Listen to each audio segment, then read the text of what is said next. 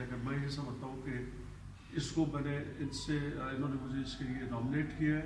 इसको प्रेजेंट करने इसको सुप्रीवेंट करने के लिए तो इन ताला मैं इसको मुकम्मल करूँगा।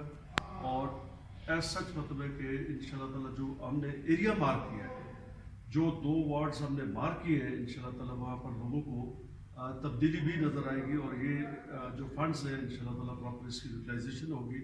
और उसमें भी हमने क्योंकि ज़्यादा जो है हमारा